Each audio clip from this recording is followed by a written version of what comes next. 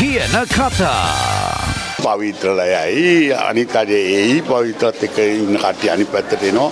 ඒක ඉතින් ප්‍රශ්නයක් නෑ මේ මන්ත්‍රීවරණයක් තියෙනකොට ඒ පැත්තට යනවා මේ පැත්තට යනවා. ඔබතුමා ප්‍රසන්න රන්තුක ඇමතුමාට කිව්වොත් නාමයට පිස්සු කියලා එතුමා?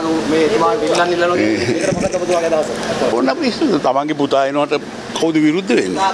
මට ඕනේ හින්දා මං ඉදිරිපත් කරේ. පක්ෂයට ඕනේ හින්දා. අපේ කණ්ඩායමට ඕන ඒක හින්දා. ඔය ශ්‍රී ලංකා පොදුජන පෙරමුණ කියන එක පොහොට්ටුව කියන එක හදලා තියෙන්නේ නාමල් රාජපක්ෂ මහත්තයටත් ඔහුගේ දරුවන්ටත් ඔවුන්ගේ දරුවන්ටත් යන්න මිසක් කුසලතාවයක් තියෙන ඔය ශ්‍රී ලංකා පොදුජන පෙරමුණේ ඉන්න රොමේෂ් පතිරණටවත් ඒ වගේම ශයන් සේම සිංහටවත් කංචන විජේසේකරටවත් ඒ වගේම ප්‍රමිත බණ්ඩාර තෙන්නකෝන්ටවත් අනුරාධ ජයරත්නටවත් ඔවගේ තරුණ දැනට ඇමති දූර දරණ පිරිස්වලට නෙවෙයි මේක විවෘත්ත තියෙන්නේ. ඒක ඒ අය අවබෝධ කර ගැනීම ගැන අපි සතුටු වෙනවා. ජනතා මතය දැනගෙන තමයි ශ්‍රී ලංකා ජන පෙරමුණේ සාතිශ බහුතරයක් මන්ත්‍රීවරු වර්තමාන ජනාධිපතිතුමන්ට සහභාගී දෙන්න තීන්දුව කරේ. ඒ තීන්දුව භූමි යථාර්ථයක් බවට පත් වෙලා තියෙන බව පේන තියෙනවා. ඒක 2018 දිත් කිව්ව පොහොට්ටුවට ඡන්ද නැහැ කියලා.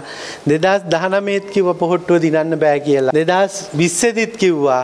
හැබැයි ඒ හැම වතාවකම ඡන්ද පෙට්ටි ගන්නහම රටේ ජනතාව රට බේරගත්ත නායකයා වෙනුවෙන් ඒ ප්‍රතිපත්ති වෙනුවෙන් ඒ යුතුයකම ඉටු කළා තිබුණා. ප්‍රසන්න රණතුංගේ ඇමතිතුමා කියන කරුණුවලට මං උත්තර දෙන්න යන්නේ නැහැ. ශ්‍රී ලංකා පොදු ජන පෙරමුණ කවදාවත් රිවර්ස් කරන්න තීන්දුව ගත්තේ නැහැ. විවිධ කටකතා පැතුරුවට කවදාවත් අපි තීන්දුව රිවර්ස් කළා නැහැ. හැමදාම අපි ජනතාවට දන්නපු තීන්දුවේ ඒ ආකාරයෙන්ම රැඳී සිටියා. ඒ එතුමාලාට තේරුම් ගත්තා. එක්සත් ජාතිය පක්ෂයක් නැති කරලා අන්තිමට නටපු නැටුමකුත් නැහැ බෙරේ පළුවකුත් තිබ්බේ නැහැ. ඉතින් ඒ නිසා එතනින් අයින් වෙලා මේ දරුණු තත්ත්වයෙන් නිකරුණේ පිල්මාරු කරන එක නෙමේ වැඩ කරන ආකාරය පෙන්වන්නේ ආකා.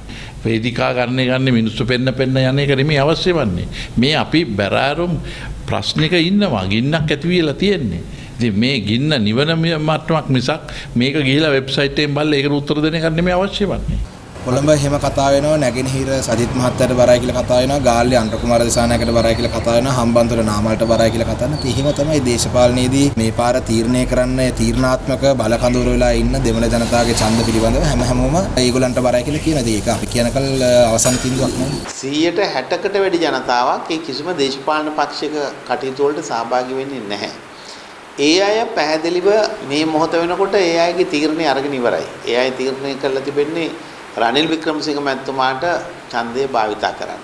මේ වෙලාවේ බල සම්පන්න දේශපාලන පක්ෂවල නියෝජිතයන් නෙවෙයි නිහඬ ජනතාවයි. නිහඬ ජනතාව 21 වෙනිදා ඡන්ද පොළට ගියාම ශ්‍රී ලංකාවේ ඓතිහාසික ජයග්‍රහණයක් රනිල් වික්‍රමසිංහ ජනාධිපතිතුමාට ලබා දෙනවා.